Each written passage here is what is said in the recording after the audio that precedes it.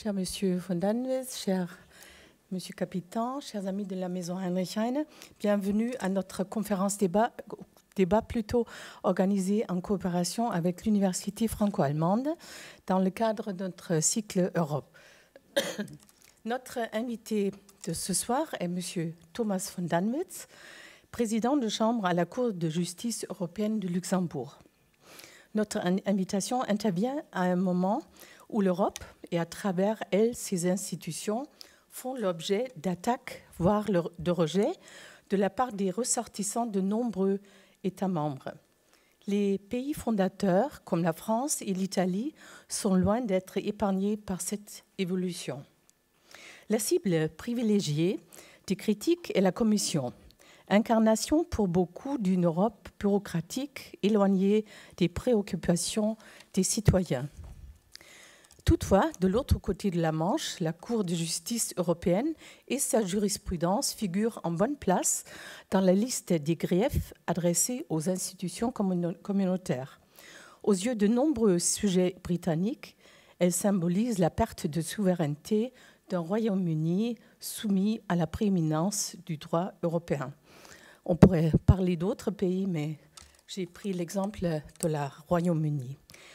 Nous sommes heureux que M. von Danwitz ait accepté de, venir partager avec nous, en tant que praticien, sa, vision sur le rôle de la Cour de, Luxembourg et sur les enjeux de l'unité du droit dans l'Union européenne. Je vais brièvement le présenter. Après des études à Bonn, à Genève et à l'École nationale d'administration, M. von Danwitz a enseigné le droit public et européen en Allemagne à Cologne, il me semble, avant de rejoindre en 2006 la Cour de justice européenne, qui connaissait déjà, puisqu'il y avait précédemment, travaillé en tant que stagiaire de l'ENA. Il convient de souligner l'engagement de M. von Danwitz pour l'approfondissement de la coopération entre nos deux pays. Il a enseigné comme professeur invité à Tours et à Paris 1 et coopère toujours avec l'ENA. Son action en faveur du franco-allemand lui a valu en 2004 la nomination à l'ordre du, mérite et en 2010 l'attribution du, titre de docteur honoris causa de l'université de Tours. Et je peux ajouter, ce n'est pas une autre euh, distinction, mais une petite distinction vous revient aussi en tant qu'ancien résident de la maison. Euh, ça, c'est un grand plaisir, en tout cas pour moi, en tant que directrice. Monsieur David Capitan, oui, on peut applaudir. Monsieur David Capitan, que vous connaissez tous, professeur du droit public à l'Université Paris 1 et président de l'Université franco-allemande. Il va animer euh, ce débat et je lui passe la parole maintenant. Merci beaucoup, Madame la directrice, d'ouvrir une fois de plus la euh, maison euh, Heinrich Heine, symbole de la relation franco-allemande euh, et des succès qu'elle s'est enregistrée à, Paris à une de ses conférences dédiées à la question européenne, le traité d'Aix-la-Chapelle qui a été signé il y a peu de temps encore par le, la chancelière fédérale et le président de la République française, a très largement inscrit la relation franco-allemande dans un cadre européen. Et c'est aussi dans cette optique eh bien, que euh, nous avons, il y a euh, quelques mois, décidé de lancer une série de conférences sur les questions européennes. Alors nous avons eu l'occasion de recevoir dans ce cadre des journalistes qui sont les témoins de l'évolution contrastée des différents pays et de la perception que chaque société peut développer de l'Union européenne. Nous avons eu l'occasion de jeter des regards aussi qui nous ont emmenés, par exemple, en Ukraine ou en Géorgie, pour voir aussi les, les marches de l'Europe. Euh, l'ensemble de ces euh, conférences nous a permis de discuter aussi avec des représentants de plusieurs institutions de l'Union. Et aujourd'hui, c'est la Cour de justice euh, à travers un président de l'une des chambres, à travers un professeur allemand de droit euh, devenu un spécialiste de droit européen, un grand connaisseur également des circonstances françaises, eh bien c'est le meilleur euh, interprète et introducteur dans ce monde feutré de la Cour européenne que nous pouvions avoir. Ça nous a paru important parce qu'en effet, l'Union européenne est certes un projet politique qui dispose d'organes organisés de manière quasi constitutionnelle, mais, et cela est peut-être ce qui surprend parfois, le, ou qui peut-être échappe à l'observateur français, nous sommes habitués dans ce vieux pays centralisé qu'est la France d'avoir un État qui non seulement euh, légifère, mais qui également met en œuvre euh, les politiques euh, qu'il souhaite démocratiquement retenir. D'ailleurs, parfois la mise en œuvre précède la formalisation dans une règle que les Français veulent souvent relativement égalitaire. Dans l'Union européenne, et c'est peut-être moins frappant pour l'esprit allemand qui est habitué au fédéralisme, mais eh bien dans l'Union européenne, en réalité, les structures centrales, les structures de Bruxelles, comme on les appelle, alors elles sont un peu aussi à Luxembourg et nous aurons l'occasion de s'y intéresser aujourd'hui, mais euh, cette Union européenne, elle travaille largement à travers le droit. Le droit est quelque chose qui est évidemment extrêmement central dans la construction de l'Union européenne.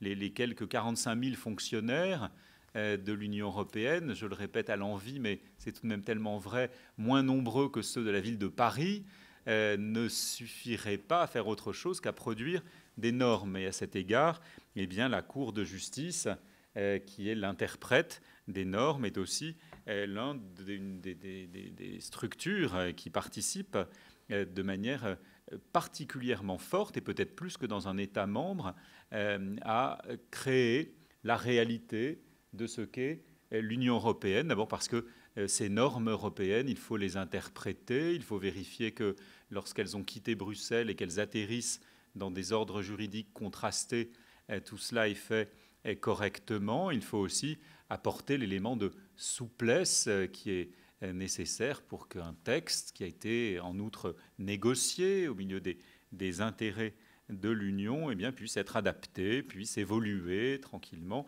Et la Cour, à cet égard, joue un rôle évidemment eh, tout à fait fondamental.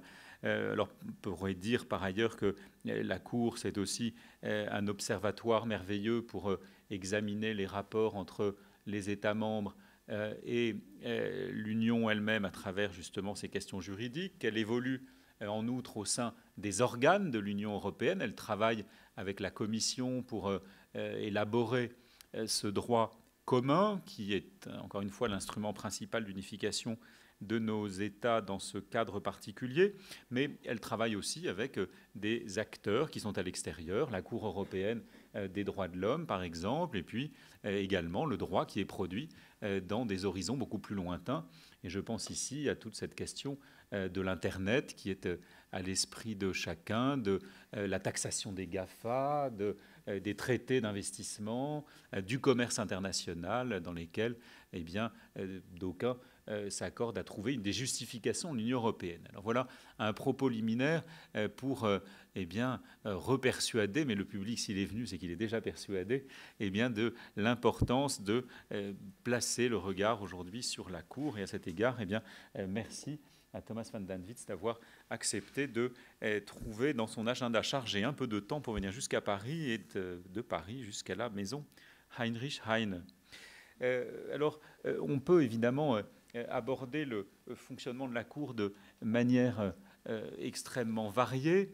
à travers la structure même de la Cour, avant peut-être d'aborder les différents thèmes sur lesquels elle a eu l'occasion de, de travailler. Peut-être est-il utile dans un premier temps de rappeler peut-être quel est le, cadre général du fonctionnement de cette Cour, euh, les conditions de son évolution aussi. Euh, c'est un, organe euh, qui au départ eh bien, attendait que les affaires arrivent. on, paraît-il, ouvrait les bouteilles de champagne lorsque la première affaire est, arrivée. Et puis, et puis ensuite, maintenant, elle a évidemment un fonctionnement beaucoup plus important. Elle est composée d'hommes qui viennent eux-mêmes de, de situations juridique et d'arrière-plan juridique très différents. C'est aussi un microcosme européen en soi. Euh, et euh, de quelle manière est-ce que lorsqu'on est à la Cour, eh bien, on a des, lunettes particulières pour observer l'Union européenne? Merci beaucoup pour cette invitation. Je me réjouis réellement d'être parmi vous ce soir. Et je ne suis non seulement venu pour répondre aux questions de mon cher collègue et ami David Capiton, mais, surtout pour euh, dialoguer avec vous, c'est-à-dire pour écouter euh, ce qui sont vos questions et pour essayer d'ajouter des éléments venant, venant de cette expérience merveilleuse de Luxembourg et du travail et de l'œuvre de la Cour finalement. Alors, c'est un plaisir de revenir à, combien? Ça fait alors 38 ans à la maison Heinrich Heine. Euh, c'est un grand plaisir personnel, pour ainsi dire, mais bien sûr, je ne suis pas venu pour raconter des histoires euh, euh, si, si, vieilles que l'attentat de la rue des Rosiers que j'ai en quelque sorte vécu 81 en étant résident de, cette, de cette maison. Euh, mais tout de même, ça montre quand même que les grands défis d'aujourd'hui n'ont en réalité pas tellement changé. C'est juste euh, euh, que les, nuances et peut-être la perception des uns et des autres a changé. Je ne suis pas venu avec un texte, alors je serai plutôt bref dans mes réponses. Et c'est comme ça, on veut être le plus, plus didactique euh, possible. J'essaierai d'éviter trop de, vocabulaire juridique pour ceux qui n'ont pas la formation juridique. Pour les grands juristes dans la salle, je m'en excuse, euh, pour essayer d'être un peu compréhensible. Alors, la Cour, bien sûr, comme le traité le dit, euh, un juge par État membre. Alors là, tout de suite, vous avez un comme David l'indiquait, une culture européenne toute particulière. Nous avons des collaborateurs qui sont des collaborateurs parfois de nos États d'origine, mais parfois d'autres euh, États membres. Les juges, sont, euh, les juges et les avocats généraux sont entièrement libres de les choisir. Nous avons même des collaborateurs avec euh, euh, une, seule nationalité d'un État tiers, même ça existe, euh, c'est juste la qualité qui importe. Alors nous travaillons ensemble et là, déjà, dans chaque, euh, dans chaque affaire, nous sommes confrontés à des divergences de compréhension, à des pré-compréhensions. bien sûr, on discute des questions comme lundi dernier, euh, une collègue disait, oui, mais dans mon droit national, la terminologie droit subjectif veut strictement rien dire. Et elle a raison. pour un administrativiste allemand, c'est une notion de base. Alors, l'exemple que je cite, c'est tout simplement pour dire, il faut alors construire l'Europe sans utilisant cette notion parce qu'elle n'est pas communément partagée. Mais ça ne veut pas dire que la substance qui est derrière cette notion euh, serait étrange au droit de l'Union, mais c'est tout simplement qu'il faut faire un effort tout particulier pour, euh, pour trouver, trouver des expressions qui conviennent et qui font du sens dans tous nos États membres. Et euh, David a, fait référence au droit qui sort Bruxelles.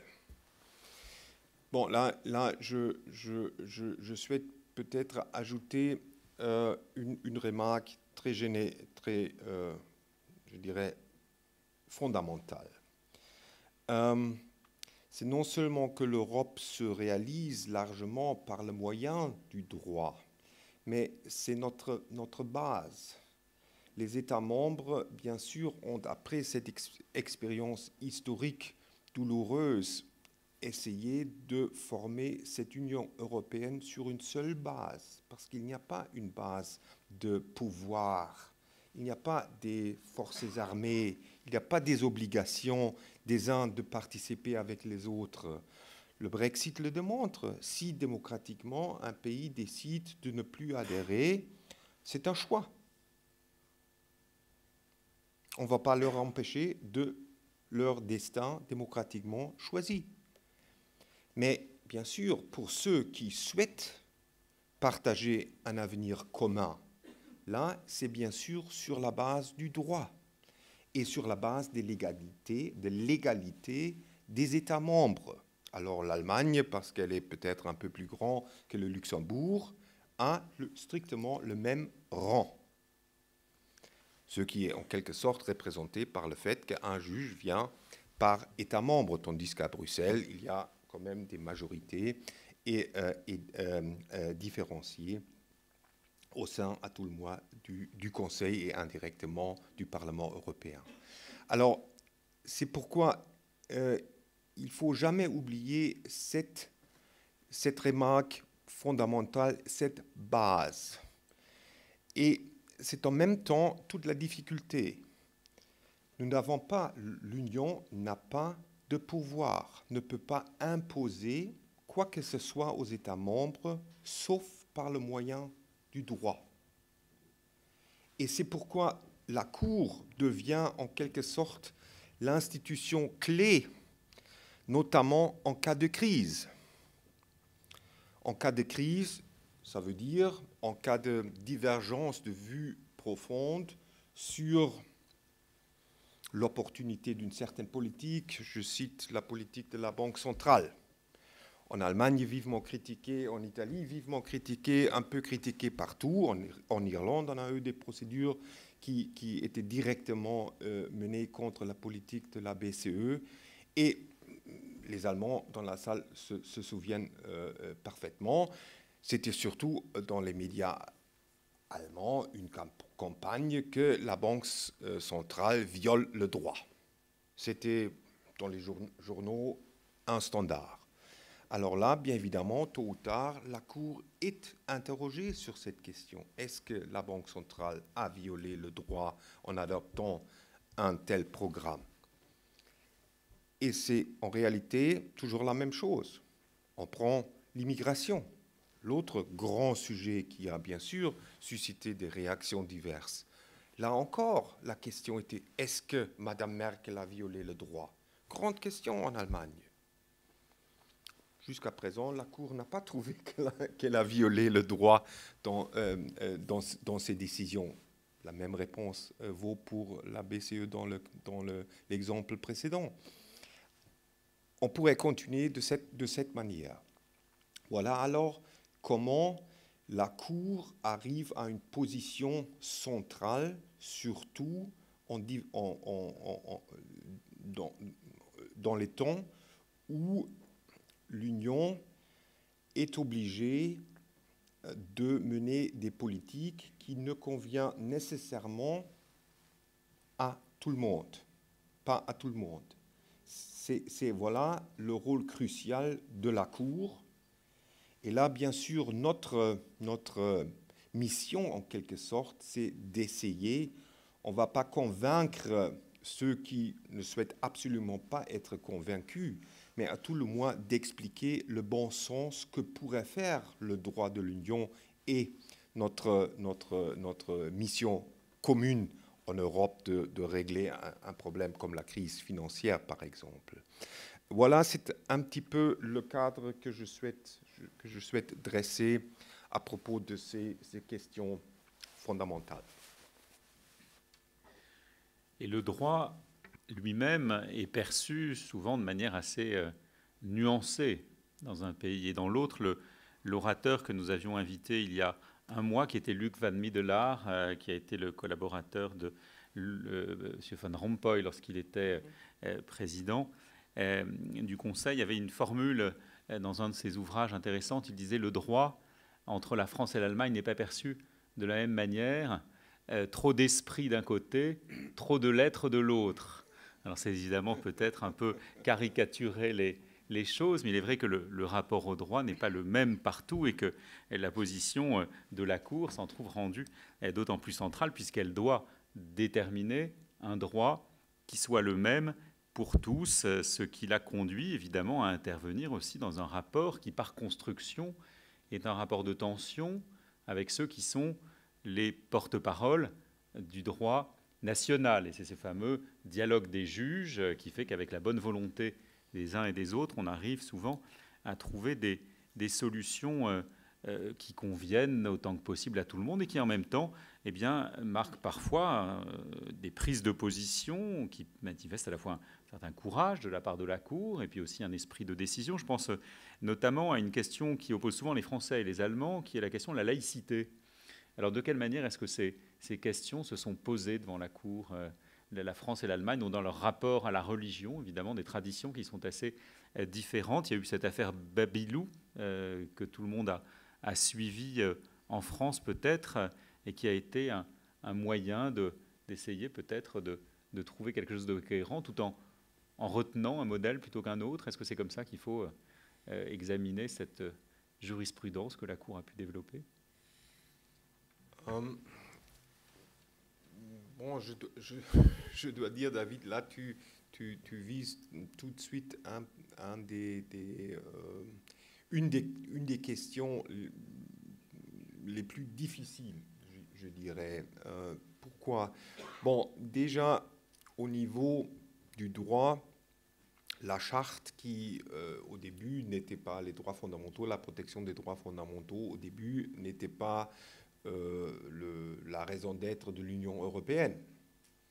Il faut le dire, il y avait euh, le système de Strasbourg et on s'est largement contenté euh, d'une protection des droits fondamentaux par le biais des principes généraux pendant longtemps. Et puis c'est le sommet de, Cologne en 99 qui a finalement, qui a finalement requis l'accord de, de, tous les États membres pour euh, cette évolution, pour cette, ce, développement pour, le, pour, le, euh, pour la charte, avec euh, la, convention qui, a, qui a bien travaillé, qui a là encore fait naître un document qui est un document moderne, qui dépasse les traditions constitutionnelles des États membres, il faut le dire. Et les cours constitutionnels à Paris, à Karlsruhe, ailleurs, ne sont pas toujours heureux de ce document. Parce que bien évidemment, si on ajoute des droits fondamentaux qui ne sont pas contenus dans d'autres, instruments, là, on change un équilibre déjà établi. Et pour tout vous dire, euh, l'aspect, disons, non-discrimination est plus fortement protégé en droit de l'Union que dans pas mal de nos constitutions nationales. Peut-être parce que le besoin de le protéger est plus évident, je dirais, au niveau de l'Union, avec l'interdiction de la discrimination en raison de la nationalité comme, disons, le noyau dur de la citoyenneté de l'Union et de l'Union même, évidemment, si je pourrais faire une différence entre un Français et un Allemand, pourquoi avoir une union N'est-ce pas? C'est pourquoi c'est vraiment fondamental. Alors, de là vient cette orientation vers la non-discrimination. Et c'est pas, pas, euh, indispensable comme évolution historique, mais c'est quand même c'est assez logique que, au fur et à mesure, se sont ajoutées d'autres dimensions de, de, la, de la politique de non-discrimination. D'abord, la non-discrimination, bien évidemment, en raison du sexe, et puis ensuite, euh, avec, avec une politique qui, dans les années 60, 70, était tout à fait nouveau.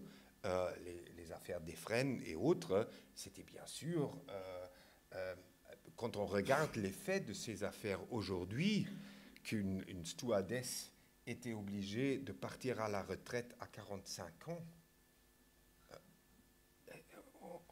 pense quand même, c'est un, monde, euh, ce sont les Moyen Âge, n'est-ce pas? L'interdiction de se marier aussi. Oui, oui, oui, oui. toutes ces, toutes, ces, toutes ces, euh, euh, tous ces éléments étaient dans cette législation et la Cour a, c'était la Cour parce qu'au niveau national, il n'y avait pas une protection comparable. Et puis, bien sûr, à partir, à partir de, de de l'article de l'article 13 et puis de la, de la directive cadre de, de 2000 euh, la, protection contre la, discrimination qu'on connaît aujourd'hui, euh, pour, par exemple, les raisons, euh, liées à l'âge, à l'handicap et autres, ont été introduits. Mais là encore, ce n'était pas fait au niveau national, chacun pour soi, mais au niveau de l'Union européenne, ce qui a bien sûr provoqué certaines réactions violentes de la, part de certains, de certains opérateurs et euh, activistes au niveau, euh, au niveau des États membres qui absolument ne voulaient pas euh, adhérer à cette nouvelle logique politique. Et bien sûr,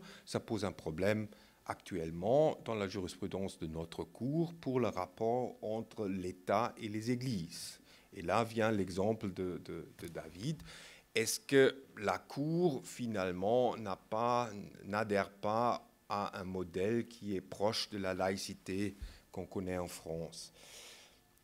Ma réponse à cette question serait, serait plutôt de dire, je n'approcherai pas la question par un modèle, parce que mon expérience de quand même 12 ans et demi à la Cour m'a toujours montré euh, que dans un cas, euh, on peut raisonner euh, d'une manière qui provoque quasiment la comparaison avec un certain modèle national. Le prochain cas dans le même domaine va être décidé en sens inverse. Et là, je serais, je serais réticent de... Nous ne raisonnons pas réellement en termes de modèle si ce modèle n'est pas établi par voie législative clairement dans les textes. Et pour ces, tous ces droits fondamentaux, là, on n'a pas, bon, peut-être pour, pour la dignité humaine, on a cet héritage allemand dans, dans la charte, mais en réalité, ce n'est pas tellement l'héritage, c'est plutôt le symbolisme de cet article 1. Euh, parce que l'héritage est communément partagé. Et pour le reste, je crois, la charte est un document tout à fait autonome et, pour la religion, on n'a pas euh, préféré un modèle par rapport à un autre. Mais, et là, je, viens à la, justesse de, la remarque de, David, je crois que la Cour, bien évidemment, est confrontée de ces questions de religion d'une autre manière qu'une Cour nationale.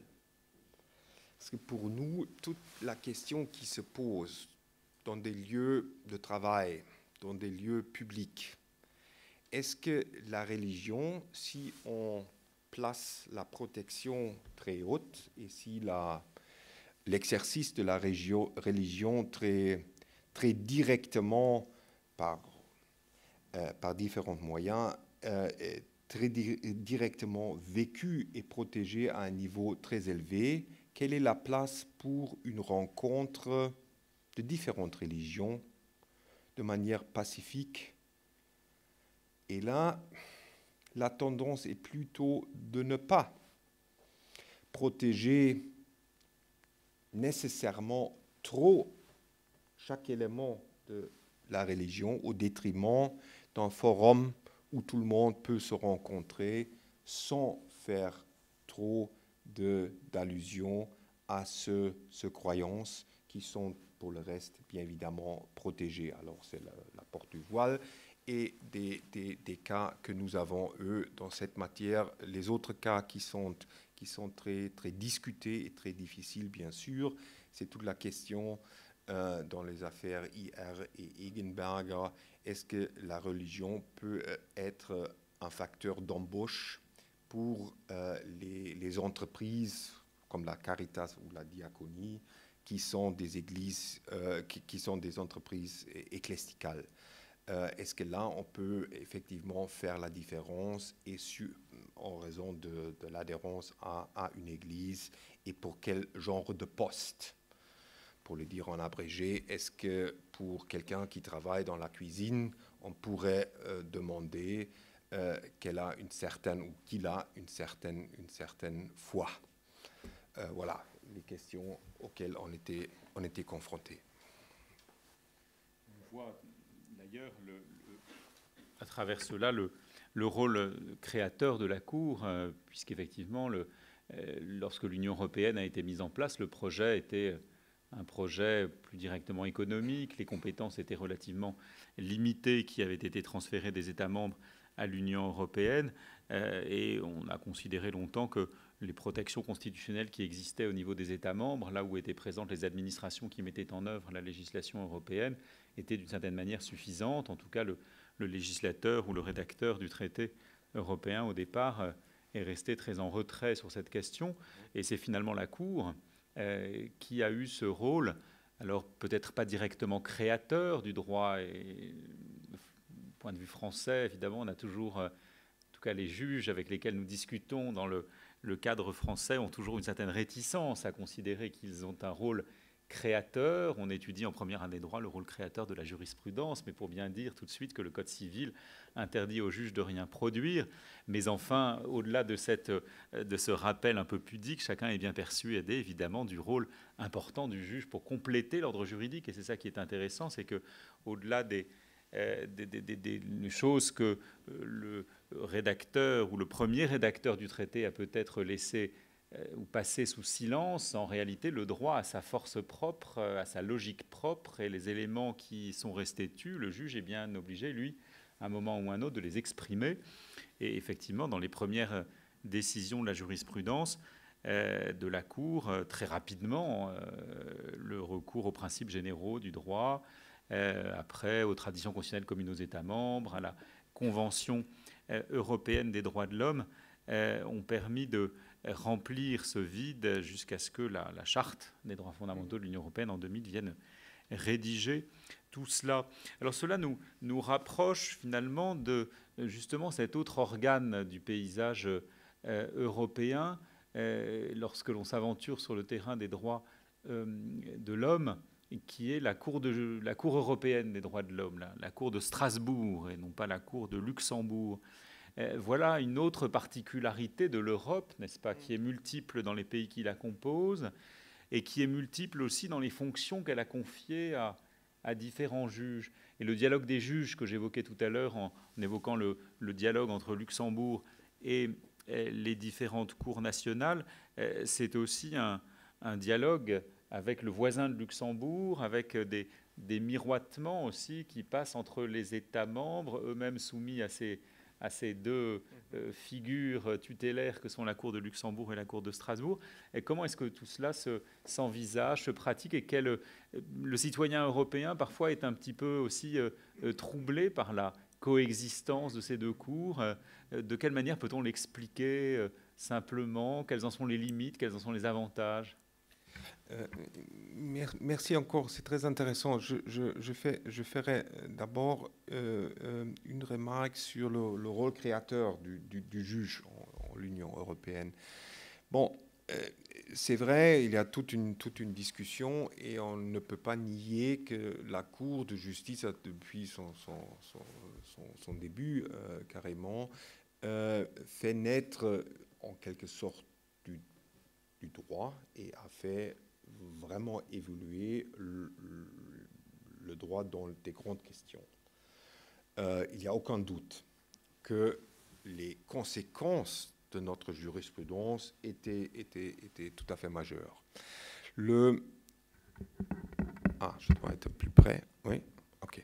Bon, euh, le... là où j'hésite, c'est et là où, où là j'aimerais bien apporter une précision, c'est comment est-ce que ça se fait Ça se fait d'abord un peu par, je dirais, surprise pour nous tous en tant que juges. En interne, je peux vous dire à quel point la Cour, les référendaires, les juges sont attachés au libellé des textes.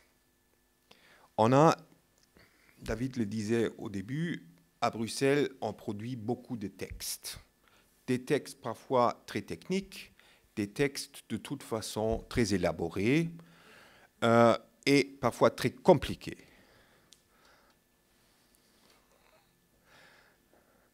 Euh, et, et, ces textes sont le point de départ de notre travail. Mais nous constatons, hélas, que ce libellé n'est pas un libellé fiable comme c'est un libellé fiable au niveau national. En Allemagne, on a cette fameuse règle, der Wortlaut ist die Grenze der Auslegung. Le libellé est la limite de l'interprétation possible. Oui, bon, regardons alors le droit de l'Union. On constate assez fréquemment, encore dans un délibéré de grande chambre sur une question tout à fait vitale la semaine dernière, que un argument qui semble être un argument en or tombait parfaitement en constatant que le texte français n'était pas identique de, de, la directive en question, n'était pas identique au texte anglais, allemand, espagnol, suédois. Bon. Alors, que fait la Cour depuis des éternités dans un tel cas où le législateur a parlé avec un sens qui ne se laisse pas déterminer avec précision. Alors nous disons toujours, et là c'est la spécificité de, de, notre cours, nous disons toujours, bon, là, il n'y a aucune version linguistique qui importe sur une autre. Mais la Cour doit chercher de donner une interprétation à partir euh, de la finalité et à partir de l'économie générale du texte. Mais bien évidemment, ça donne, et pour certains, ça donnait toujours lieu à une critique que le juge se sert subjectivement d'une interprétation. Mais en réalité, nous sommes très très conscients de ce que nous faisons et dans des grandes décisions, surtout des décisions avec des implications politiques, on cherche toujours de s'appuyer le plus possible à des textes et parfois même à des bouts de textes qui en soi euh, ne sont peut-être pas tellement visibles dans la, dans la réaction euh, à, nos arrêts, mais on essaie toujours de s'accrocher à ce que le législateur nous a laissé. Maintenant, dans tout ça, bien évidemment, nous sommes interrogés par des cours nationaux, nationales. Et ces cours nationales, bien sûr, partent d'une version linguistique qui est la leur. Euh, mais, mais par la suite, c'est dans nos procédures qu'intervient la Commission et les autres États membres. Ils apportent des visions, des perceptions de ce même droit qui sont tout à fait différentes. Et c'est seulement après tout ce processus que la Cour doit rendre son jugement. Bien sûr, il y a, euh, encore les conclusions de l'avocat général qui, dans un premier temps, analyse tout ça et donne son avis, disons, personnel. Et puis la Cour euh, soit, soit euh, partage, se rallie, développe, soit partage en partie, ou bien va dans un autre sens. Mais, mais je, tiens quand même à souligner ce processus qui est vraiment un processus européen. Et la seule chose qu'on aurait pu éventuellement critiquer à ce processus, c'est que ce processus est dominé par les gouvernements des États membres. Mais plus récemment, les, tribunaux nationaux euh, ont tendance d'admettre euh, plus libéralement les parties aux procédures nationales. Et une fois admises au niveau national, ces parties participent également à la procédure devant la Cour. Et avec ça, on a vraiment toute une panoplie d'opinions, de, tentatives d'interprétation. Et c'est vraiment à la Cour, par la suite, après avoir entendu toutes ces, toutes ces prises de position, d'en faire une interprétation qui finalement importe. C'est alors là le processus. Et dans ce processus, bien sûr, nous tenons compte de ce que disent nos interlocuteurs au sens plus large, c'est-à-dire nos partenaires au sens plus large, c'est-à-dire euh, la Cour de Strasbourg, pour ce qui concerne les questions de la protection des droits fondamentaux, parce que là, c'est une Cour européenne qui a une grande expérience en la matière, mais en même temps, qui a une, mission quand même différente de celle de la Cour. Surtout à Strasbourg, il manque le droit qui a pour, pour but l'uniformisation l'harmonisation des, droits des États membres. Et, c'est très visible que le, standard de contrôle de, la Cour de Strasbourg est bien sûr un standard toujours minimal. Et plus récemment encore, cette vision des choses, c'est le processus de subsidiarité, euh, après la déclaration de, Copenhague, est encore mise en exergue. Alors là, nous avons parfois des domaines dans lesquels déjà le traité, par exemple pour la protection des consommateurs, pour la question euh, de, la protection, des données personnelles, pour, euh, le droit de travail, on a quand même des domaines dans lesquels le droit de l'Union part du principe d'un, niveau de protection élevé. Et bien évidemment, si déjà le traité le dit, il serait assez peu cohérent d'ajouter une couche de protection des droits fondamentaux qui sera une couche minimale, voire minimaliste c'est alors là, là, euh, là toute la difficulté. Nous regardons en fin de compte également, euh, mais bien évidemment ça dépend des matières, euh, au, système des États tiers. C'est de temps en temps la Cour suprême des États-Unis, mais ça peut être n'importe quel système national globalement. Par exemple, la, Cour suprême euh, de l'Afrique du Sud parfois publie des décisions tout à fait intéressantes. Euh, parfois, euh, parfois ce sont, sont d'autres cours, mais, voilà, nous essayons de, trouver les droits là où le droit évolue. C'est l'occasion de, rappeler, comme le, disait un des, euh, des avocats généraux français, je crois, dans les premiers temps de la Cour, qu'en matière d'interprétation euh, littérale, toutes les versions linguistiques font foi, ce qui revient très exactement à dire qu'aucune ne fait foi. Euh, et par conséquent, la Cour, à ce moment-là, peut développer sa formule classique qui est que, en l'absence de version linguistique faisant effectivement foi, eh bien, il lui appartient de retenir l'esprit du texte. Alors, de, de, temps en temps, je crois, on arrive à corriger tout de même. J'ai le, le souvenir d'une affaire où le, il s'agissait de taxation des cerises, Kirchen.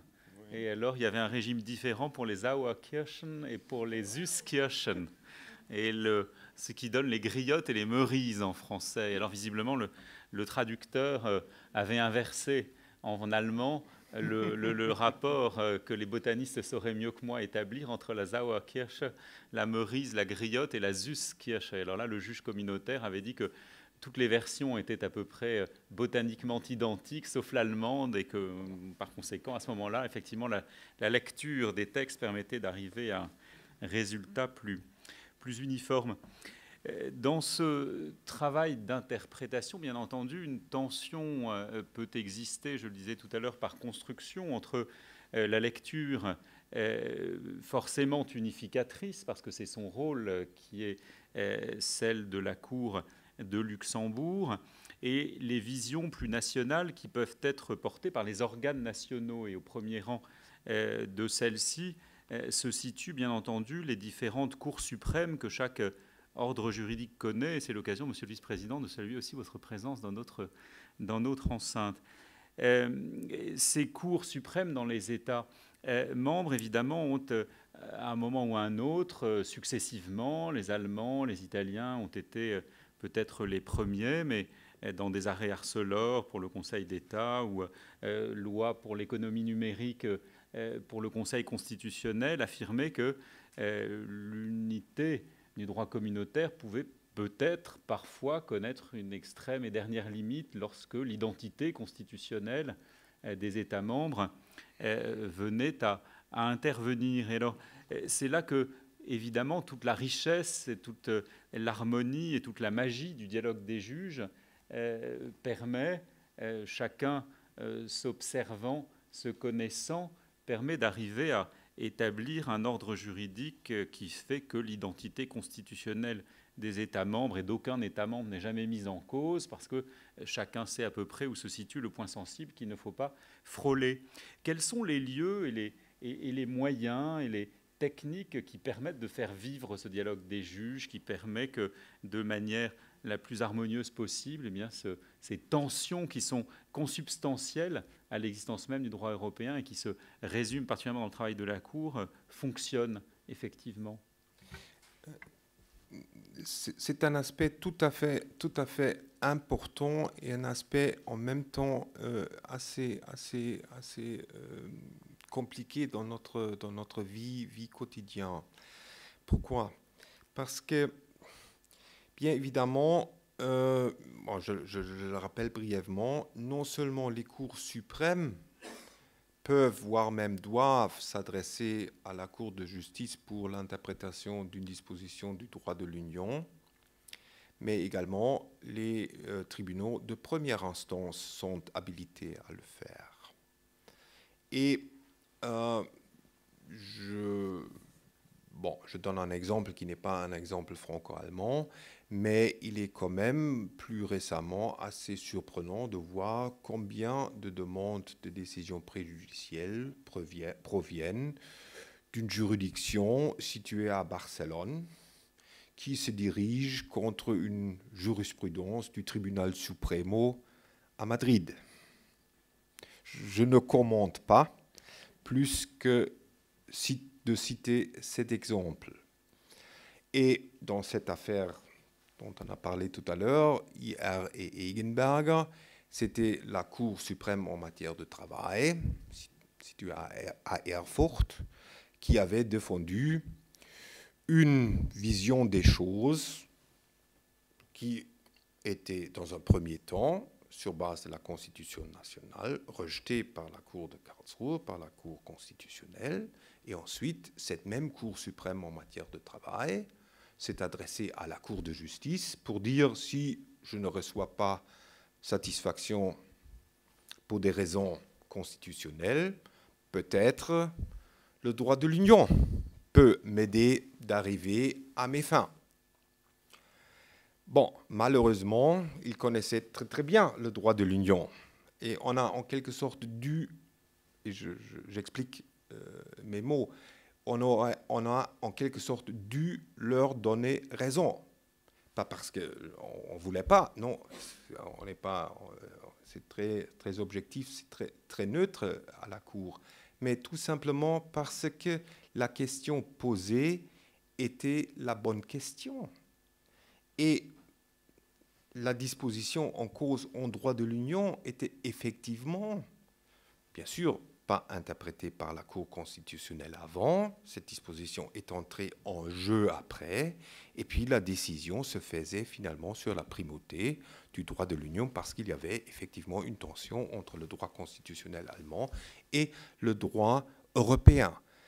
Et bien évidemment, là, toute la question, est-ce que, parce que la question concerne le statut des églises en Allemagne, est-ce que c'est une question de l'identité constitutionnelle? Il y a des collègues, bien évidemment, à la Cour constitutionnelle qui le croient profondément. Et j'ai constaté que les églises, maintenant, reviennent à charge devant la Cour constitutionnelle. Alors, l'histoire n'est pas encore finie. Euh, juste pour dire, là, on essaie toujours euh, de, de ménager les débats, mais là encore, toute la difficulté est que les tensions viennent de nos demandes, de nos interlocuteurs. Nous n'avons pas un rôle actif dedans. Nous devons attendre ce qui nous vient. On ne peut pas dire c'est une belle question. On doit prendre des belles questions et des mauvaises. on doit répondre, on est obligé.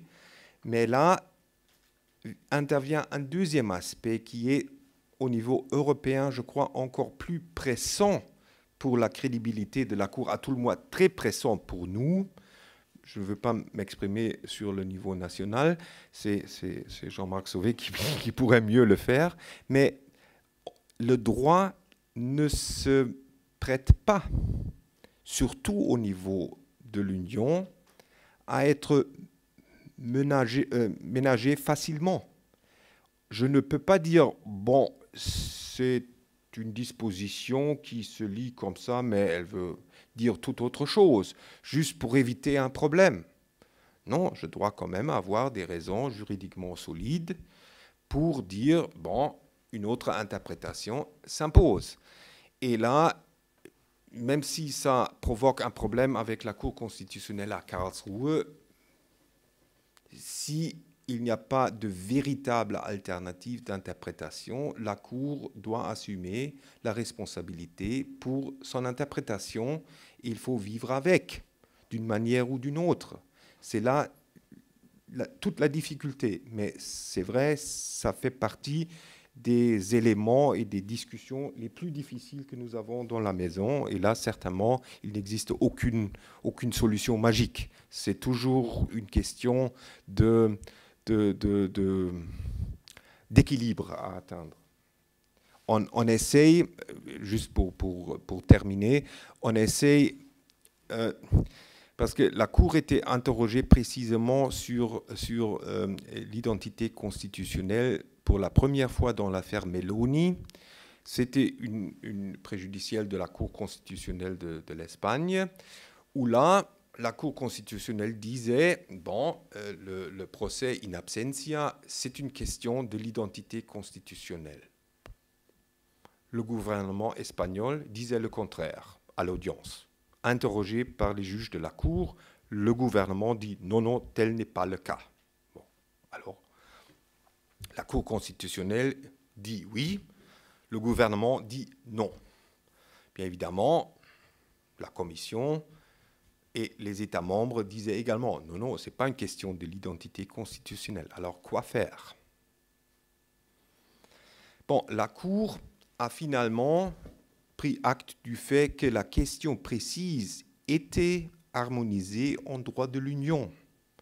Et là, toute la logique de la Cour était de dire, mais si l'Espagne était d'accord pour accepter une solution précise du problème dans l'acte en question, dans la norme, là, on ne peut pas venir par la suite pour dire non, on ne va pas appliquer cette règle parce qu'il y a identité nationale, identité constitutionnelle.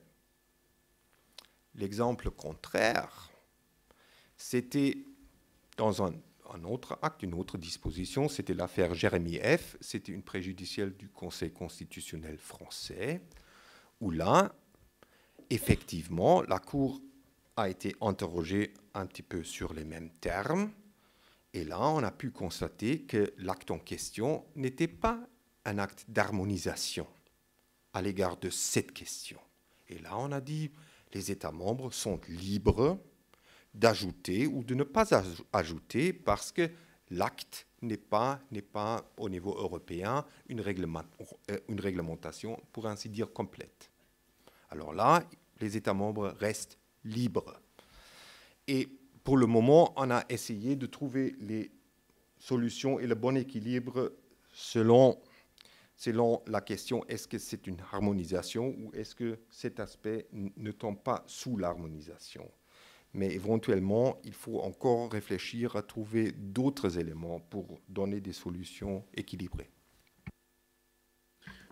L'occasion de voir le subtil équilibre qui est évidemment à trouver dans les enceintes politiques pour faire vivre ensemble tous les Européens, mais aussi euh, dans l'enceinte de la Cour. Alors je voudrais euh, peut-être terminer par une dernière question avant de donner la, parole à la salle. Il y a des, quantités de, domaines depuis les, tribunaux euh, d'arbitrage internationaux, la réglementation d'Internet, la protection des données que nous n'avons pas encore eu l'occasion d'évoquer, mais peut-être que quelques questions voudront les reprendre.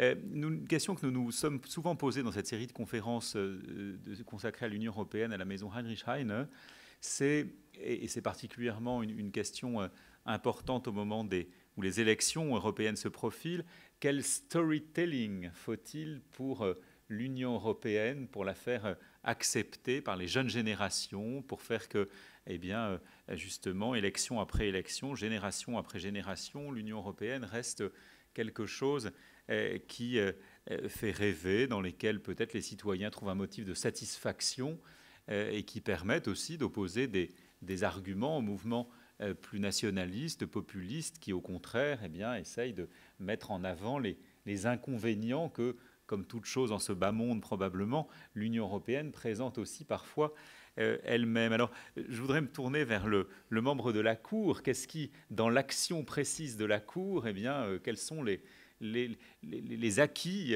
que le citoyen pourrait, à juste titre, eh bien, remercier la Cour d'avoir à son usage immédiat produit dans l'ensemble de sa jurisprudence. Quelques exemples peut-être de ce en quoi l'action de la Cour, parmi les autres organes de l'Union européenne, favorise la vie quotidienne du citoyen européen. Oui, effectivement, au, plaisir, parce que je, je trouve très, très simplement, on n'a pas besoin d'inventer une histoire il faut tout simplement prendre le soin et regarder ce que nous faisons.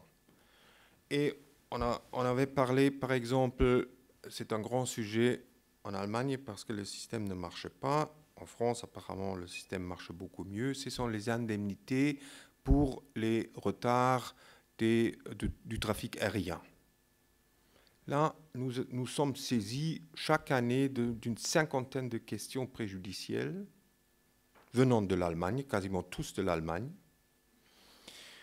Euh, chacun souhaite avoir son indemnité de 300 euros, voire 600 euros, mais est obligé de passer par un recours juridictionnel pour l'obtenir. Et là, devant le juge cantonal, la compagnie aérienne dit c'est une nouvelle question du droit de l'Union. Et là, je reviens à la question tout le régime est dû à l'Union européenne.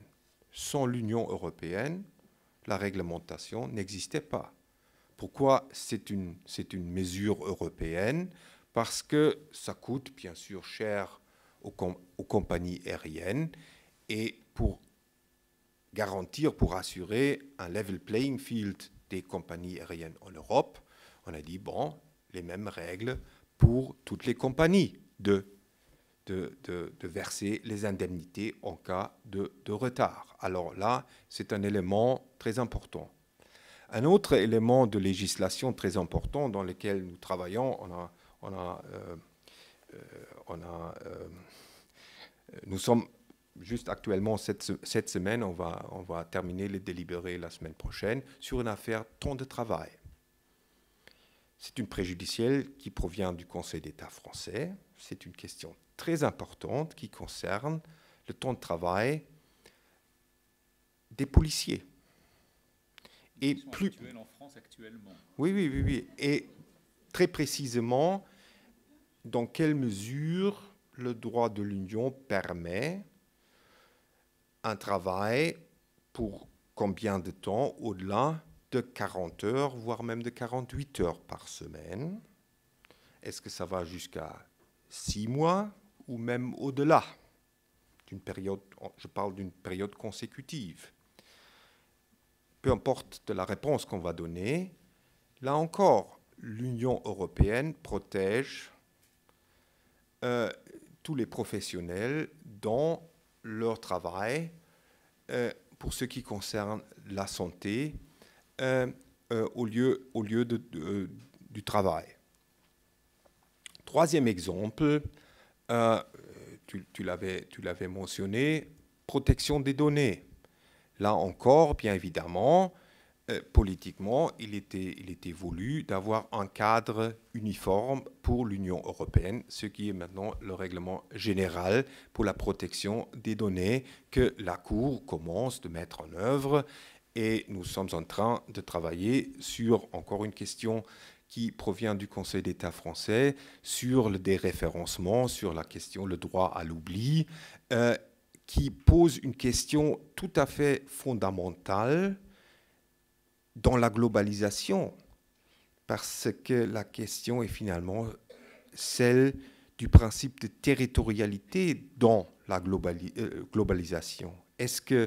Comment est-ce qu'on va appliquer le principe de territorialité? Est-ce que le fait que Google est une entreprise américaine veut dire que pour les citoyens européens qui sont éventuellement intéressés de faire disparaître quelque chose de l'Internet, ils sont limités à l'Europe Ou est-ce que, alors aux États-Unis, on peut facilement, on peut continuer de retrouver ce que en Europe euh, euh, euh, doit disparaître?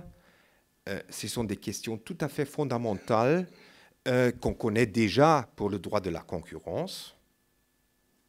là, tout le monde accepte que si Boeing et Lockheed font une entreprise commune, Là, la Commission européenne doit, parce que ça concerne le marché européen, la Commission européenne doit donner son accord. Euh, est-ce que la même chose vaut pour, euh, pour euh, la protection des données Alors là, c'est toute une, gamme de questions, toutes les questions de consentement, de la validité des consentements donnés. C'est actuellement notre, travail très pratique à la Cour. Je crois que ça suffit pour le moment comme exemple. Il y en a plein d'autres. Je cite toujours pour ceux, qui n'aiment pas, euh, la TVA, bien sûr, est une taxe que tout le monde paye, mais quasiment personne se rend compte que c'est une taxe européenne. Euh, et là encore, on voit à quel point le droit européen concerne nous tous euh, avec chaque café qu'on boit merci de ces exemples qui nous rappellent aussi, et notamment dans le domaine de, l'Internet, que euh, sur la base de, certaines directives de l'Union européenne et pour arriver jusqu'au règlement général sur la protection des données, la Cour a eu une action euh, extrêmement positive, extrêmement constructive aussi, depuis l'arrêt Google Spain en passant par les, suivants, pour justement attraire dans le, fort européen des questions dont on ne sait pas très bien quelle législation elles doivent ressortir. Le fait d'avoir euh, euh, trouvé le moyen d'attraper euh, Google pour lui imposer de respecter notamment ce, droit à l'oubli fait que l'Union européenne a développé un cadre juridique qui largement est repris désormais au-delà des simples frontières de l'Union européenne, ce qui montre que, et là c'est la Cour qui est au premier plan, c'est en s'unissant qu'on peut encore euh, dans le monde actuel, face à la Chine, face aux États-Unis, euh, exister euh, de manière efficace. Alors je suis certain que ces, questions de, de, réglementation de, l'Internet et d'autres encore répondront aux intérêts des uns et des autres. Nous avons là un, micro et donc je suis prêt à donner la parole à ceux qui la demandent. Alors peut-être notamment les, les plus jeunes ici aussi ont des, question particulière, monsieur, qui avait un beau t-shirt européen, ça tombe très bien. Et puis je note également votre question, je note aussi là-bas.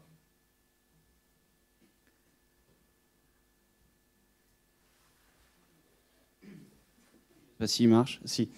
Donc euh, bonjour, enfin bonsoir plutôt. Euh, vous avez dit qu'il faut regarder ce que fait l'Union euh, pour en faire la pub, qu'il n'y a pas besoin de raconter des histoires, d'inventer des histoires. Mais quand on voit ce que font Orban, ce que font Salvini en, faisant des, campagnes de haine contre Juncker, en, euh, en affichant, donc je pense à Orban qui affiche avec Soros, euh, en disant ce qu'il prépare en secret, ou Salvini qui fait des, campagnes de haine contre Macron, contre Merkel, contre l'UE en général. Vous ne pensez pas que c'est un peu dangereux de laisser la parole et le monopole de la parole à ces personnes-là sur l'UE Il ne faut pas justement à l'UE de répondre mais absolument, vous avez absolument raison. Il faut euh, mais je, peut-être je m'explique mieux. Ça ne veut pas dire de laisser la place à ceux qui inventent des histoires, non, au contraire. Mais il faut, il faut euh, appeler les choses par leur nom. Et par exemple, en matière d'immigration, la Cour a entre-temps passé réellement trois ans avec un contentieux sur l'immigration qui est, qui est très lourd. Mais là, on doit constater que, bien sûr, il y avait certains problèmes dans certains États membres, mais en règle générale, on ne peut pas dire que toute cette réglementation ne marche pas ou n'a pas lieu d'être. C'est tout simplement qu'on peut faire du sens à cette réglementation qui est peut-être compliquée et qui parfois dans la mise en œuvre ne marche pas, euh, mais c'est la réglementation en soi marche et, plus généralement accepté qu'on pense. Et là, vous pouvez citer les exemples de notre jurisprudence. Mais ça m'amène à un, point que, je, oublié tout, à l'heure de, mentionner, je crois. On identifie l'Union avec pas mal de crises. Mais si on regarde très bien, est-ce que ce sont des crises de l'Union ou est-ce que ce sont les crises de ses États membres? Et là, on constate assez régulièrement, et c'est peut-être la difficulté de, ce, de cette conception plutôt, plutôt fédérale, que ce sont effectivement des défaillances dans la mise en œuvre du droit de l'Union qui est fait par les États membres qui posent problème. En matière d'immigration, pour seulement donner un exemple, là, bien évidemment, si les États membres se refusent de respecter le droit de l'Union tel que euh, tel que, euh, tel que, euh, accepté, tel que, tel que promulgué. Là, bien sûr, le processus est lourd de faire en sorte que ces pays doivent respecter, parce qu'il faut la procédure à infraction et ça prend du temps. Bien sûr, on peut accélérer, mais il y a des limites à tout. Bien sûr, mais au début, le problème est assez rarement l'union en tant que telle, mais est assez souvent ceux au sein de l'Union qui ne jouent pas selon les règles. Et je prends par exemple cette merveilleuse idée de l'Allemagne d'introduire un péage. On va voir ce que la Cour va en dire. Euh, L'Autriche dit c'est contraire au traité. L'Allemagne dit non, non, on a bien respecté tout. La Commission, après avoir ouvert une procédure, a finalement dit, bon, on pense que ça, ça devrait aller, mais la Cour n'est pas liée par tout cela et va trancher cette question. Et c'est bien, parce qu'à la fin, on sait qui a joué selon les règles ou pas. Mais bien sûr, ça prend du temps et pour le public, il faut attendre. Mais là encore, les problèmes ne viennent pas de l'Union. Ce n'est pas un dysfonctionnement des institutions de l'Union, mais c'est plutôt que les États membres préfèrent euh, prendre une certaine distance par rapport à leurs engagements européens donnés à Bruxelles. Et là, bien évidemment, ça pose problème. Mais bien sûr, on pourrait être plus efficace avec plus de fonctionnaires à Bruxelles et plus euh, des juges à la Cour. Mais en réalité, euh, l'Europe est toujours basée sur la conviction euh, que tout le monde comprendra que c'est dans son propre intérêt de suivre le chemin. C'est pourquoi c'est difficile de se mettre toujours euh, en quelque sorte en tour de force contre, contre ceux qui, euh, qui ne suivent pas au premier plan. C'est ça le problème.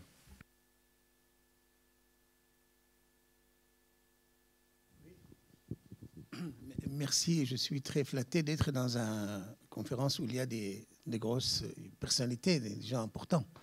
Et, je me suis dit, en vous écoutant, euh, en fait, ma question, c'est en considérant quelques considérations de, tout ce que vous venez de dire, à savoir le Conseil constitutionnel, l'exemple que vous avez pris, la laïcité, l'immigration, la question de double juridiction, qui est quand même un droit fondamental. Et quand j'écoute, par exemple, ce qu'il disait un membre du Conseil constitutionnel français, M. Jacques Chirac, qui était président de la République, qui disait à Pierre Truche, euh, président de la Cour de cassation à l'époque, il y a 20 ans, mais M. Truche, notre justice, elle est euh, lente, inefficace, coûteuse et inefficace. Et on lui demande de faire réformer le système.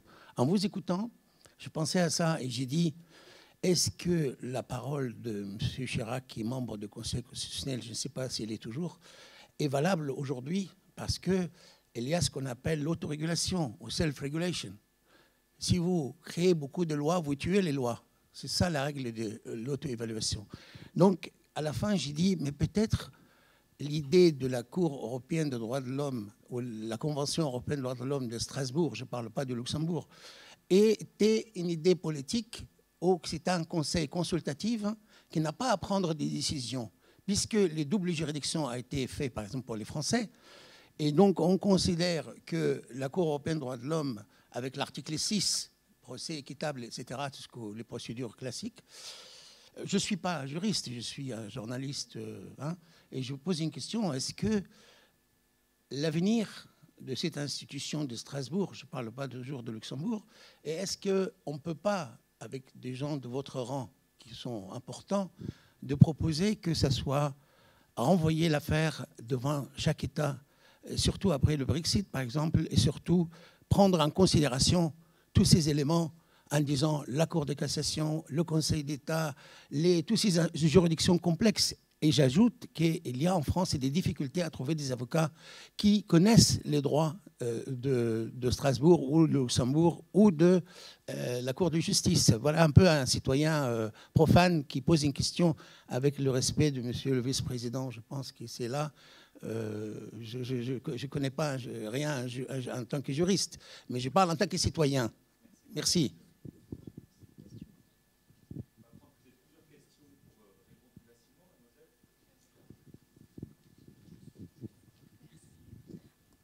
Tout d'abord, je vous remercie beaucoup pour vos remarques.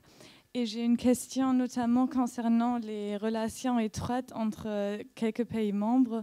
En Allemagne, on parle beaucoup de, de l'Europe à deux vitesses, donc de la relation entre la France et l'Allemagne. Néanmoins, je me suis déjà posé plusieurs fois la question si ça risque pas de mettre en danger un peu l'équilibre dont vous avez parlé aussi, parce qu'il n'y a pas seulement la France et l'Allemagne en tant que grands pays en Europe, mais aussi d'autres pays membres comme la Pologne et l'Espagne. Est-ce que ça ne pourrait pas risquer un peu oui, l'équilibre? Merci.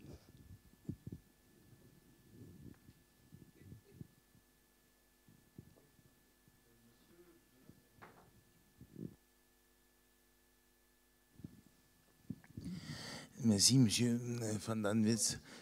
Paul, Paul, comment? Paul Arnaud, juriste. Euh, j'ai deux petites questions. Euh, la première, euh, sur la question prioritaire de constitutionnalité. Est-ce que ça existe dans, qui, a été établi en France par une loi organique du 9, 9, 10 décembre 2009 euh, est-ce que ça. Bon, on constate, pour faire rapide, euh, que euh, elle écarte, elle, censure les lois qui sont inadaptées ou trop vieilles ou qui ne correspondent plus aux besoins actuels dans un litige.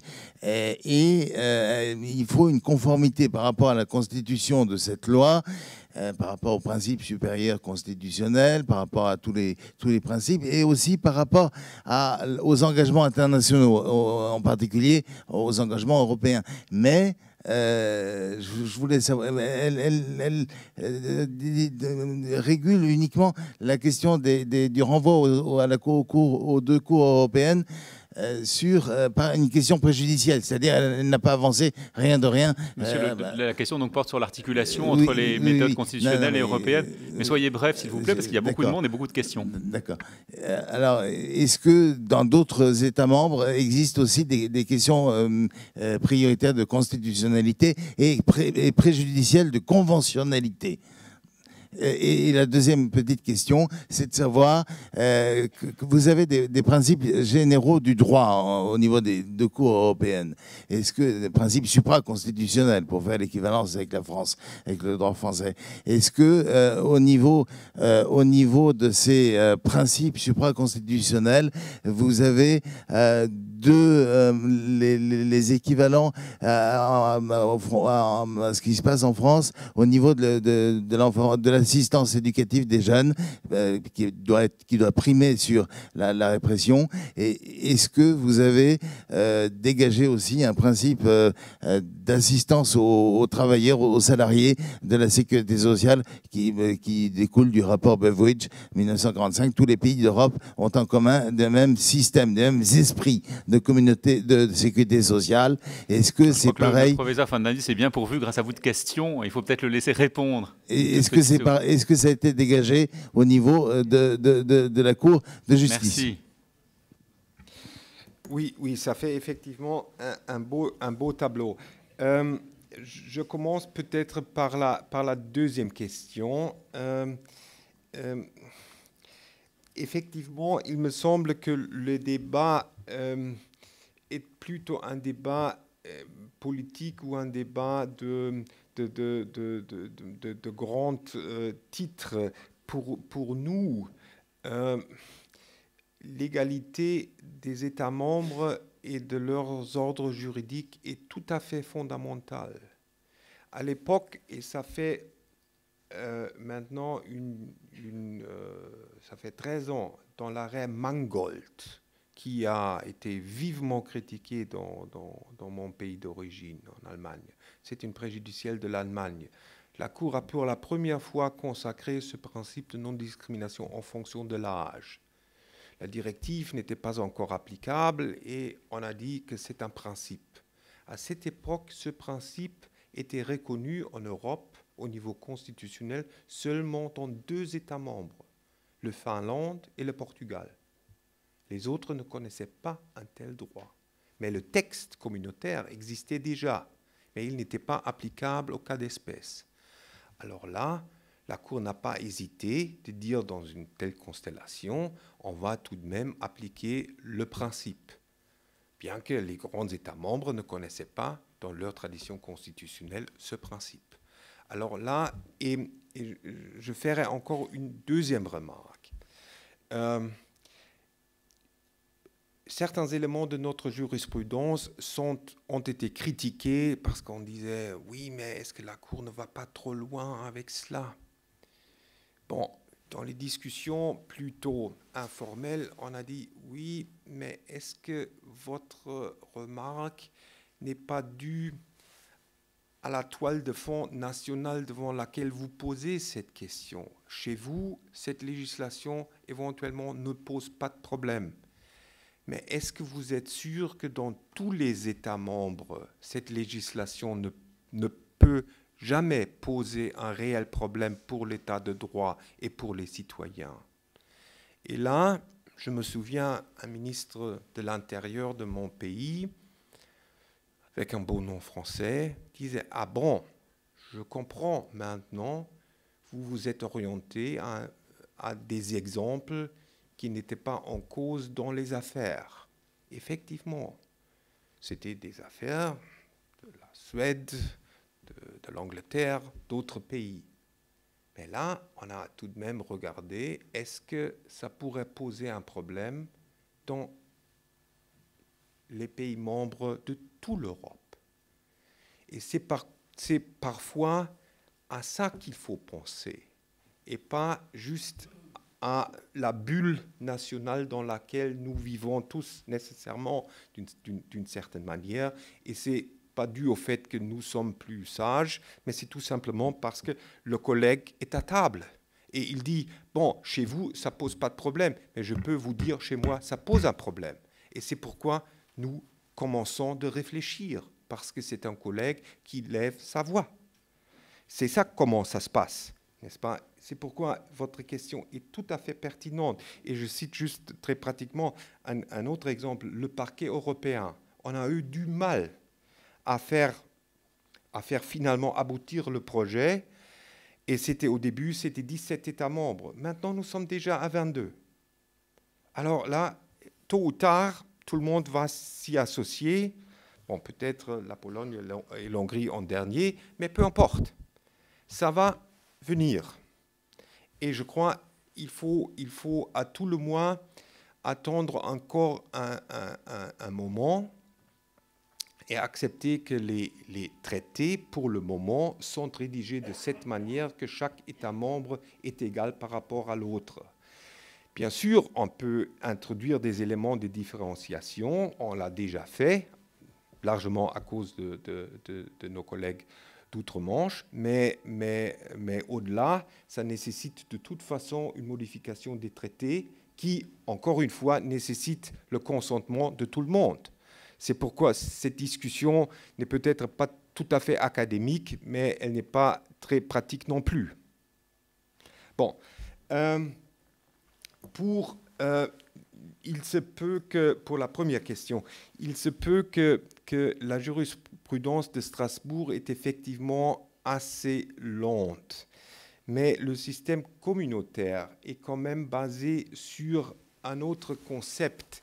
nous avons ces, ces fameux renvois préjudiciels. Et là, c'est un dialogue assez direct avec le, juge national. Et la moyenne euh, d'une procédure de, ce genre, d'une telle, euh, telle procédure préjudicielle, est d'ordre de 15 à 18 mois. Alors, ça nous amène dans les cas où nous procédons dans une procédure accélérée à des situations où moi, en tant que juge, je dirais, nous sommes très très proches de la décision politique, voire même peut-être trop proches de la, de la décision politique. Et je cite, bon, je ne devrais peut-être pas le dire, mais je le dis tout de même, je cite notre arrêt Whiteman sur le Brexit, sur la possibilité du retrait de la demande euh, de, de, sortir de l'Union européenne. Bon, on l'a fait dans une procédure très rapide, à un moment où la Cour sentait le besoin d'être utile dans une certaine situation politique, mais on constate déjà aujourd'hui que les choses ont évolué et est-ce qu'aujourd'hui la Cour rendrait précisément ce même arrêt? Ou est-ce qu'on n'ajouterait pas quand même l'un ou l'autre point? Et c'est déjà là une difficulté. De, nous sommes très très proches de ce qui se passe, surtout quand c'est une, c'est une affaire qui a une toile de fond politique. Là, parfois, j'aurais moi tendance de dire un peu plus de distance temporelle par rapport au fait de l'espèce ne fait pas de mal. Parce qu'avec avec un peu de distance, ça fait du bien, les esprits se calment et puis une décision qui juridiquement s'impose est mieux acceptée que si ça intervient à un moment où le débat politique est toujours très chaud. Euh, euh, sur la QPC, oui, ça me, ça me fait penser aux affaires Melki Abdeli, où j'étais juge rapporteur dans ces, ces magnifiques affaires. Euh, pour, pour, répondre à, cette question très précisément, oui, des, telles procédures existent dans d'autres États membres, notamment euh, en, en, Italie, de, cette, quasiment de cette même manière. dans d'autres États membres, ils existent, je dirais, en parallèle, semblables, pas de, précisément de la même manière comme, QPC, mais un, tel, euh, système existe dans, plusieurs États membres.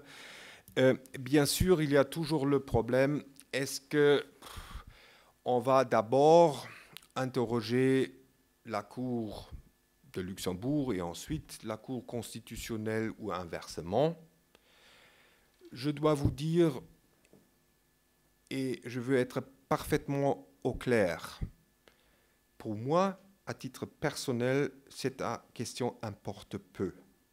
Moi, j'ai toute la confiance que les collègues au niveau national savent quoi faire. C'est leur responsabilité et on s'y tient. Le dialogue des juges vit surtout d'une relation de confiance et si parfois c'est difficile de s'en sortir parce qu'il y a plusieurs juges nationaux qui se disputent devant nous, c'est vrai, c'est difficile, mais en principe, on respecte tous les juges et on essaye de leur faire confiance le plus possible. C'est pourquoi de telles questions, pour nous, ne sont pas, ne, sont pas réellement utiles et on espère d'être, laissé à l'écart de, telles, telles, euh, telles, disputes euh, euh, entre, entre juges nationaux. Pour ce qui concerne la, la, deuxième question sur les principes supraconstitutionnels, bon, bon peut-être deux éléments de réponse. sur, sur l'assistance, non, on n'a pas consacré un tel principe et je, dirais, c'est peut-être quand même au niveau européen une question différente de reconnaître un principe supraconstitutionnel. Euh, il faut savoir que la Cour jusqu'à présent n'a pas jugé qu'une disposition des traités violerait un principe supraconstitutionnel. On a touché à cette question il y a longtemps dans, dans une seule affaire. La Cour n'est jamais revenue. On a toujours évité cette question parce qu'elle est politiquement extrêmement sensible et surtout pour certains cours constitutionnels, euh, ça serait, ça serait euh, difficile à accepter que le traité ne pourrait plus être changé à la guise des États membres. C'est ça qui, est derrière. Mais, mais les grandes valeurs de l'Union, qui se trouvent notamment à l'article 2 et dans la charte, ont été pour beaucoup d'entre nous un peu oubliées ou euh, à, de côté pendant longtemps, avec toute cette évolution en Pologne, en Hongrie et ailleurs, Roumanie euh, et ailleurs, on a, on a dû découvrir ces valeurs et on les a, l'année, surtout l'année dernière, on les a mis en exergue dans notre jurisprudence et je crois nous sommes, c'est, dû à, l'évolution politique, nous sommes obligés de continuer dans cette voie. Alors la Cour va de plus en plus expliquer, par exemple, ce qui est l'indépendance du juge. Ce qui, par exemple, est-ce que c'est possible qu'une procédure disciplinaire se tient contre un juge parce qu'il a rendu un arrêt donnant tort à l'administration fiscale d'un État? Nous sommes saisis de la question, précisément. Et ce juge qui pose la question a été par la suite convoqué devant une chambre de discipline et a dû se justifier pour avoir posé cette question à la Cour de justice. Alors nous vivons des temps difficiles, et mais ce sont également des temps des valeurs. Ce sont des temps des valeurs. Et euh, ceux qui ne croient pas en ces valeurs doivent savoir que l'Europe est une telle union des valeurs et on ne peut pas faire sans.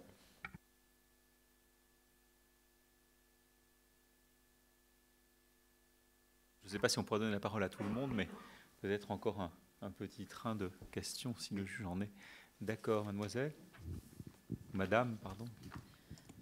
bonjour, merci pour euh, les éléments que vous avez déjà apportés jusque maintenant. Moi, j'ai une question sur euh, les données personnelles, euh, parce que j'ai l'impression que vous avez travaillé dessus, et de savoir, en tant que juge, comment vous faites la balance entre, d'un côté, les droits fondamentaux, donc le droit à la vie privée, le droit à la protection des données, et de l'autre côté, bah, tout ce qui est ce contexte euh, sécuritaire où l'État doit remplir sa mission euh, de, garantir la sécurité. Aussi, euh, les, tribunaux, la justice doivent faire en sorte qu'on traite de cybercriminalité, que ce soit qu'on puisse agir contre cela. Et donc, ça demande aussi d'accéder à des données personnelles. De, il y a des régimes de conservation. Et donc, la juge est beaucoup, euh, la, cour est beaucoup euh, saisie en ce moment de questions préjudicielles sur cette thématique. Et comment vous, euh, les juges, vous vous tranchez en fait parce que c'est très très, enfin ça a des, des, grosses répercussions sur les citoyens et, et sur les modèles d'État qu'on a en Europe. Bonsoir, merci. Euh, alors, vous avez déjà abordé un peu le dialogue euh, des juges. Et euh, donc, ma question, c'est comment est-ce que vous voyez plus précisément la, relation entre les juges à la Cour de justice et les juges nationaux? Parce que, bien sûr, il y a la primauté du droit européen, c'est la Cour de justice qui va rendre les interprétations, mais il faut quand même le juge national pour le faire appliquer. Et ce n'est pas un système juridique strictement fédéral. Donc, est-ce que vous vous considérez cette relation comme une relation de dépendance, de conflictuelle, euh, de compromis? Voilà, c'est ma question. Merci.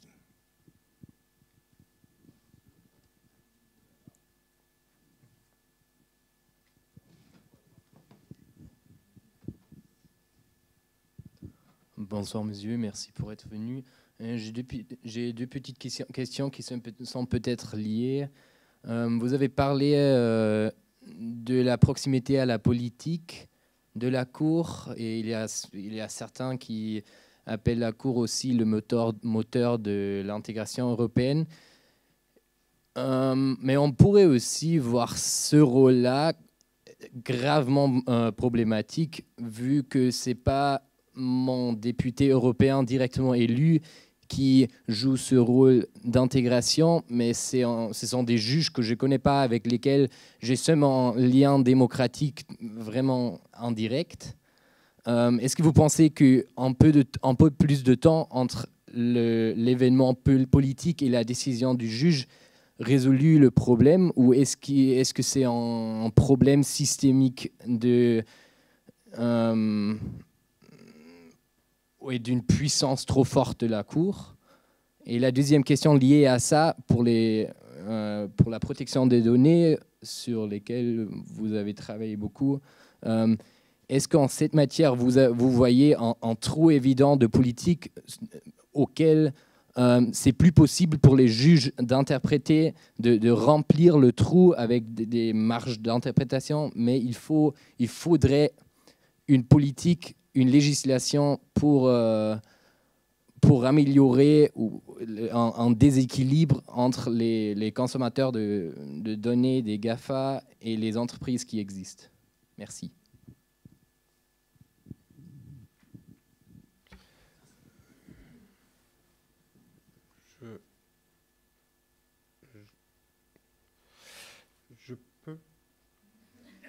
Bien sûr, pardon. Bien sûr, bien sûr. Le respect du droit. Merci. Non, non, non, non. Non, non, on est, on est, on est, euh, on est dans un contexte euh, euh, extra juridictionnel, n'est-ce pas?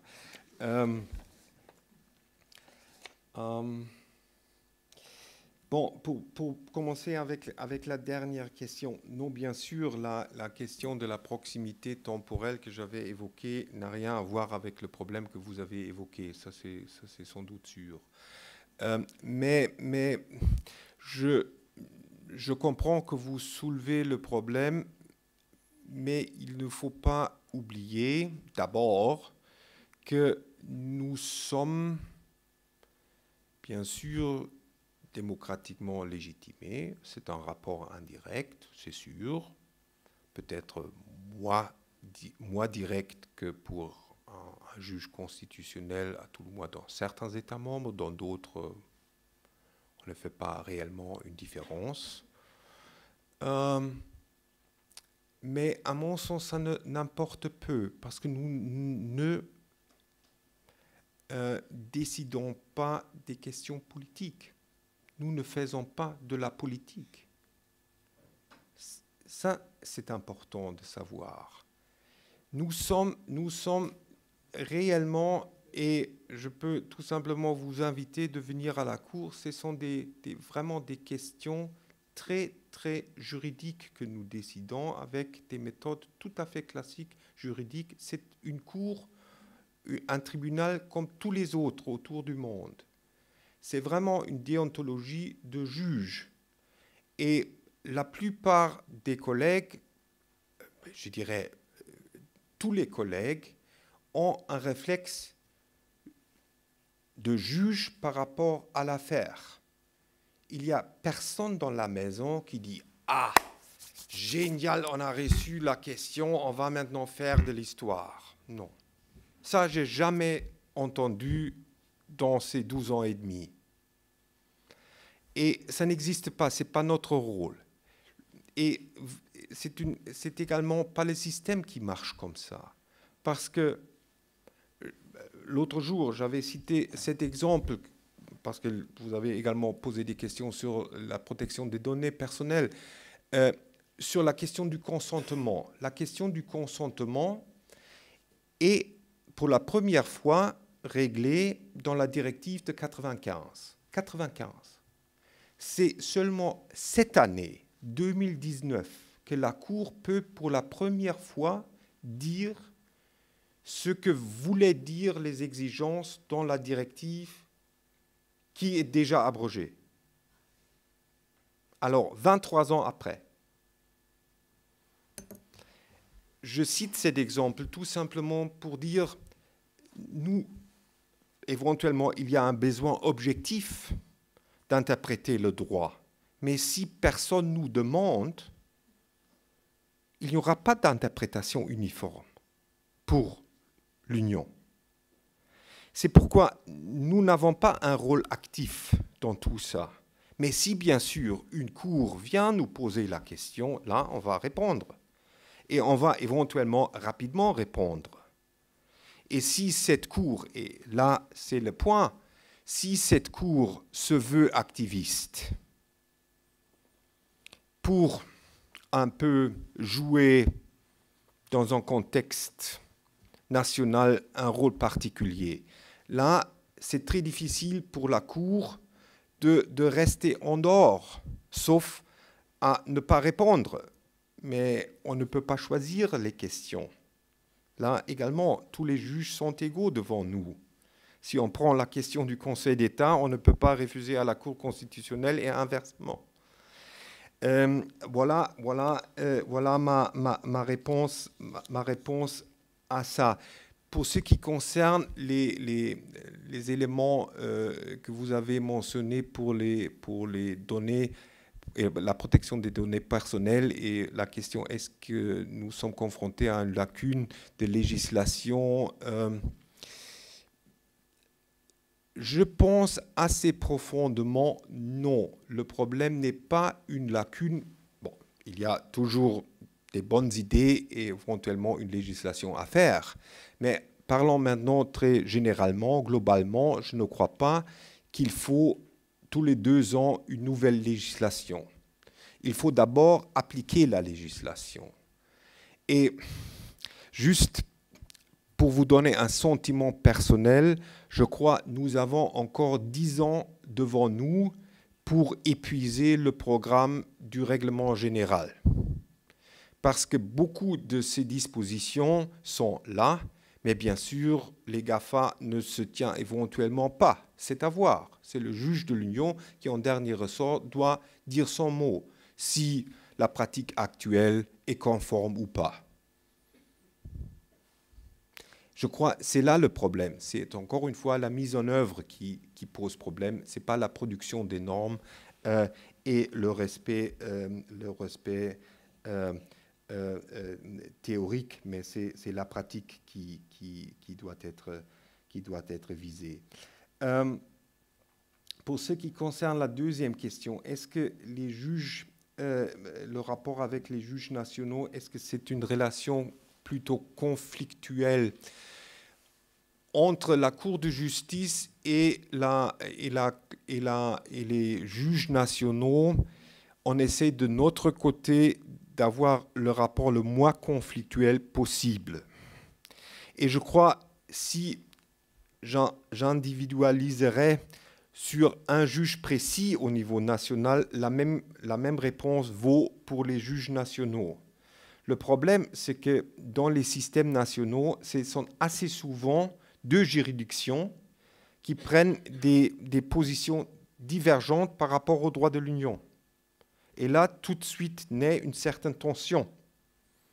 Et comme j'avais raconté ces histoires IR et Egenberger, c'est la Cour suprême de travail qui dit oui, la Cour constitutionnelle dit non, et puis par la suite, la Cour euh, suprême de travail revient vers nous pour dire mais est-ce que c'est finalement un oui?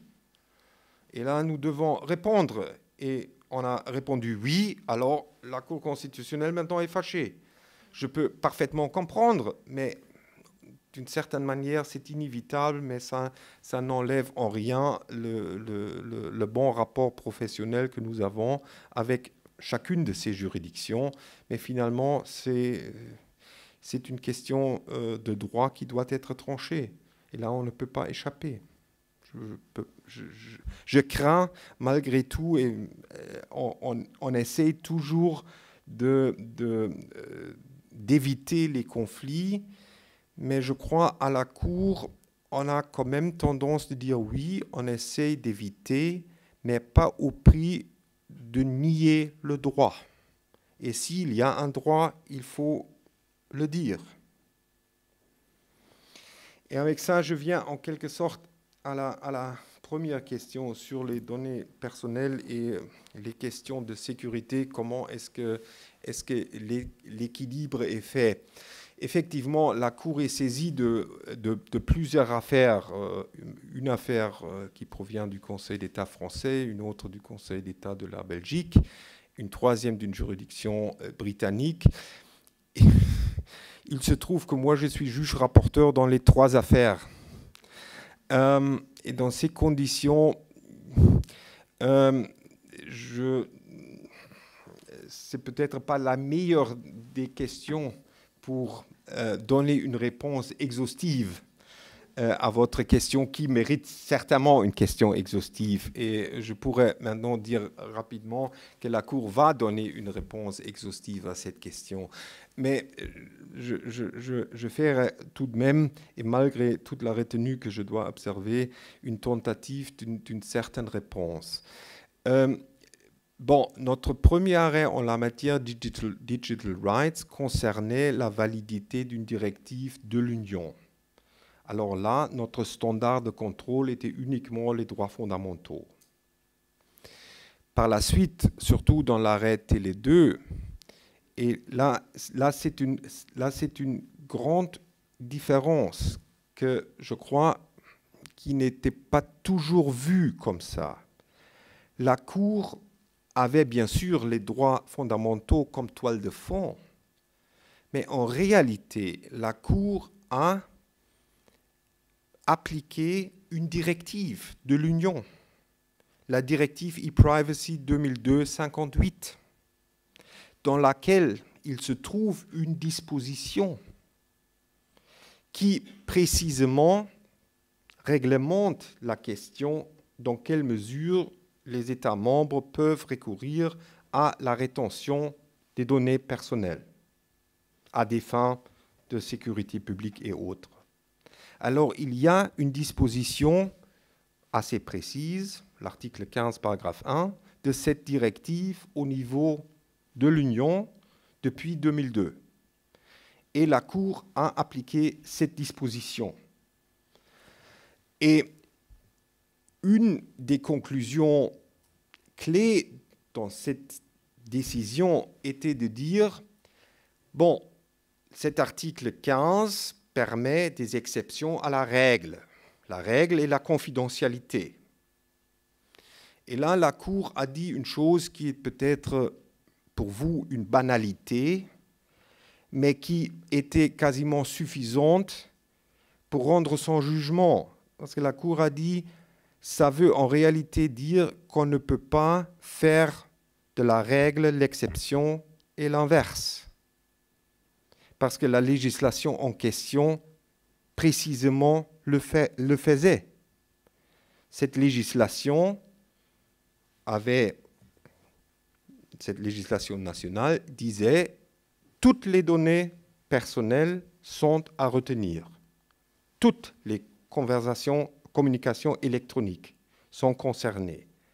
Alors là, la règle de confidentialité, en réalité, était inversée. Et c'est déjà pour cette raison assez banale que la, Cour a finalement conclu à, euh, euh, l'incompatibilité de cette législation avec l'article 15. Alors maintenant, avec ça, bien évidemment, on a laissé, je dirais, beaucoup de marge pour des législations qui respectent cette relation règle-exception.